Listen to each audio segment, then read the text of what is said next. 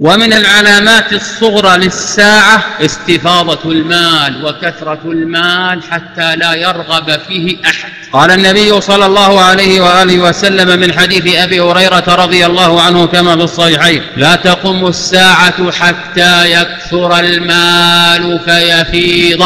حتى يهم رب المال أن يأخذ أحد صدقته فلا يجد أحدا ويدعى إليه الرجل فيقول لا أرب لي فيه يعني لا حاجة لي في هذا المال. وجاء عند مسلم أن النبي صلى الله عليه وآله وسلم قال ليأتين على الناس زمان. يطوف الرجل بصدقته من الذهب فلا يقبلها. أحد متى؟ هل وقع أو ما وقع؟ يحتمل أنه وقع. لأن فارس والروم فتحت في عصر الصحابة وغنموا منها مغانم كثيرة. ولذلك في عهد عمر بن عبد العزيز رحمه الله لو قيل إنه لا يوجد فقير في عهده لكان القائل صادق. ويحتمل أن المال يكثر في زمن الفتن. فلا يرغب فيه أحد. يريد الخلاص منه في زمن الفتن مع كثرته. ويمكن أن يستدل على ذلك بما جاء عند مسلم. تقيء الأرض تقي من القي يعني تفرز ما في معدتها وما في بطنها كما يقيء الإنسان. تقيء الأرض أفلاد